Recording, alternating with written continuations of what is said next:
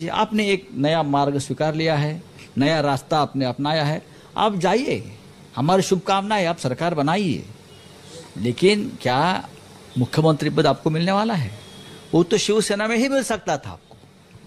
बाहर कोई नहीं देगा, ना नारायण राणे जी को मिला, न छगन भुजबल जी को मिला, न गणेश नाइक को मिला छोड़कर चले गए।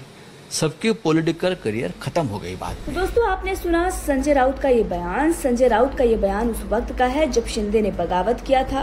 बगावत तो कर दिया था, लेकिन उस वक्त मुख्यमंत्री वो नहीं बने थे और उसी बीच संजय राउत ने ये बयान दिया था और कहा था कि वो मुख्यमंत्री नहीं बनेंगे। संजय राउत के हसीन सपने तो यही थे, लेकिन वो पूरे नहीं हुए। एक शिंदे मुख्यमंत्री बन गए। अब जब मुख्यमंत्री बन गए तो संजय राउत को एक बड़ा झटका लगा और उसके साथ ही पार्टी को छीनने की भी कोशिश वो लगातार कर रहे हैं। इससे भी उद्धव ठाकरे और संजय राउत काफ़ी आहत हुए हैं।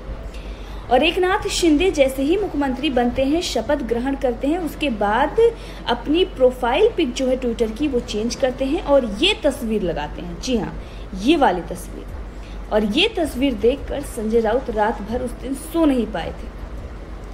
क्योंकि उन्हें पता था कि अब तक जो पॉलिटिक्स वो करते आए हैं, जिस तरीके की बयानबाजी रही है, सीधे तौर पर वो धमकी देते आए हैं। और ये कहते थे कि हमसे जो टकराएगा चूर चूर हो जाएगा, शिवसेना आग है, अगर हाथ लगाओगे, जल जाओगे।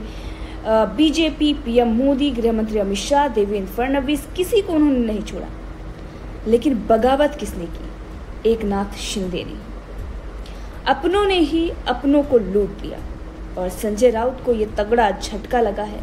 और इससे काफ़ी आहत हैं। अभी भी इससे उभरे नहीं हैं। लगातार उनके बयानों में नरमी देखी जा रही है। लेकिन अभी देखना दिलचस्प होगा कि आने वाले चुनाव में जनता किसे सपोर्ट करती है। जी हाँ। बहरहाल, इस खबर को लेकर आपका क्या कहना है? कमेंट करके ज़रूर बताइएगा।